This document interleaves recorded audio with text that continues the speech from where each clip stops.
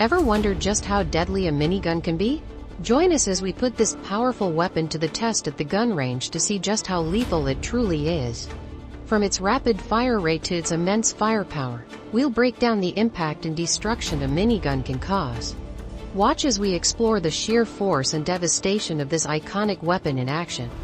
Don't miss out on this intense gun range test to uncover the true power of a minigun. Collision gun. Well, the Mini with a true masterpiece of military engineering that, when combined with electricity, produces that characteristic sound that makes some tremble and boosts the morale of others. But do you really know how lethal and powerful this weapon is? The effect it produces on a human, a vehicle, or even a modern tank or airplane? Well, this weapon, although it seems brought from the future of a strange planet, really descends from the simplest concepts of mechanics. In 1860, the inventor Richard Gatling produced a machine that could help sow rice and wheat. However, with the advent of the American Civil War in 1861, Richard Gatling modified his agricultural machine to spit out bullets instead of seeds. Initially, the weapon, which he himself named the Gatling gun, used a crank that allowed it to fire about 200 bullets per minute. That gave a soldier the firepower of about 100 soldiers of the time.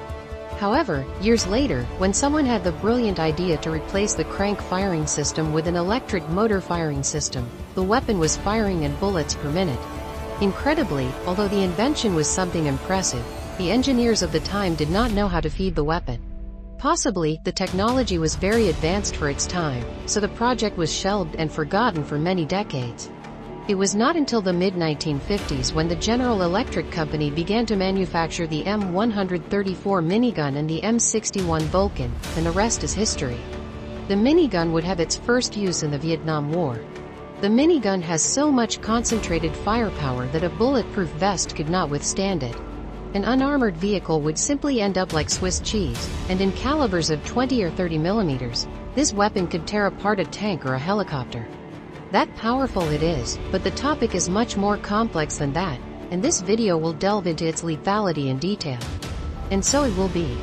The M134 minigun is a multi-barrel machine gun of 7.62 by 51 mm caliber. It uses a Gatling-type firing system powered by an electric motor. You might wonder why it is called a minigun. This weapon is not mini at all.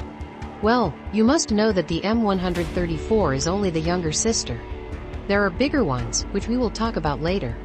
The M134 particularly has a rate of fire of 2,000 to 6,000 bullets per minute, depending on the variant we refer to.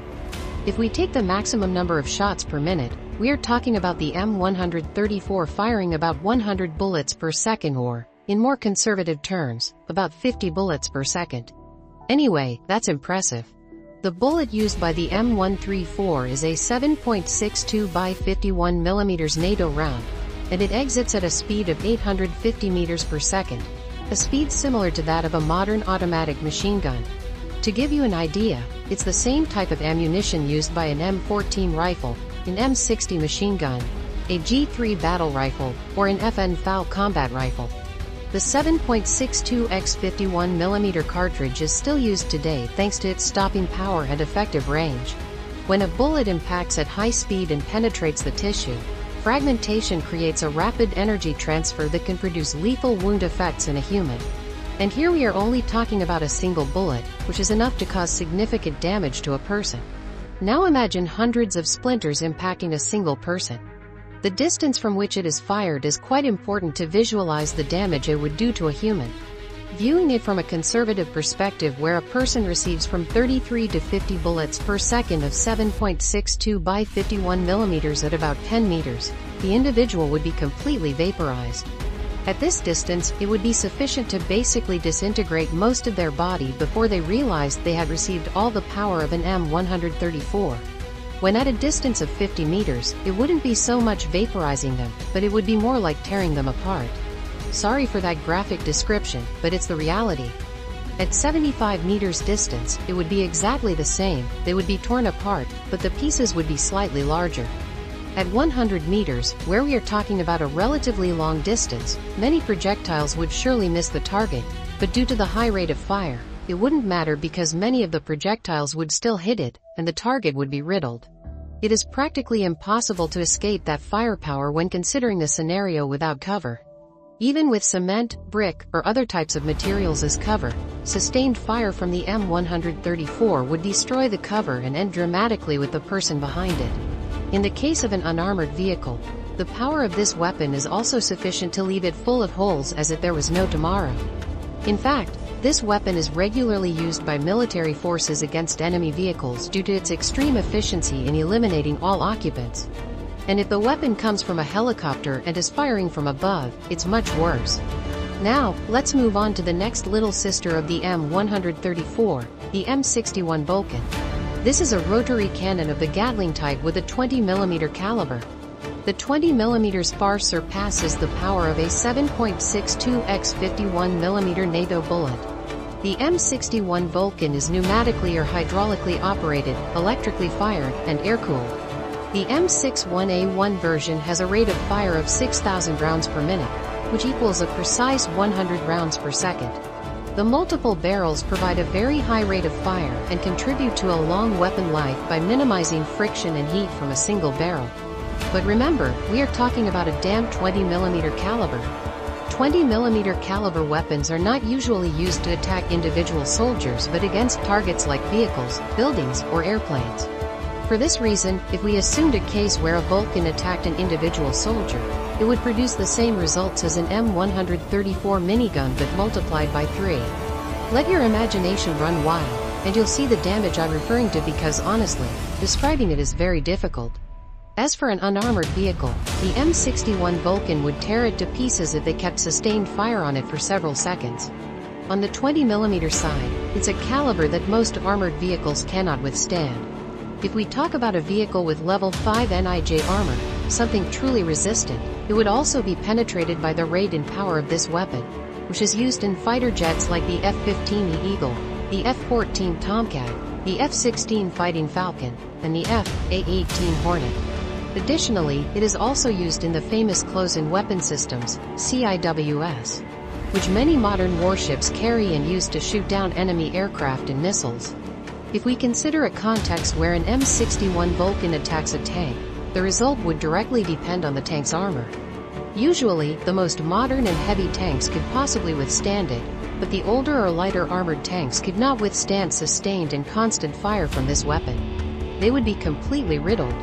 A lighter version of the Vulcan was developed for the F-22 Raptor, the M61A2. It is mechanically the same as the M61A1 but with thinner barrels to reduce the weapon's weight. Additionally, the modifications gave it a higher rate of fire, as if it wasn't enough, allowing it to fire about 6,600 rounds per minute, which would be equivalent to 110 bullets per second.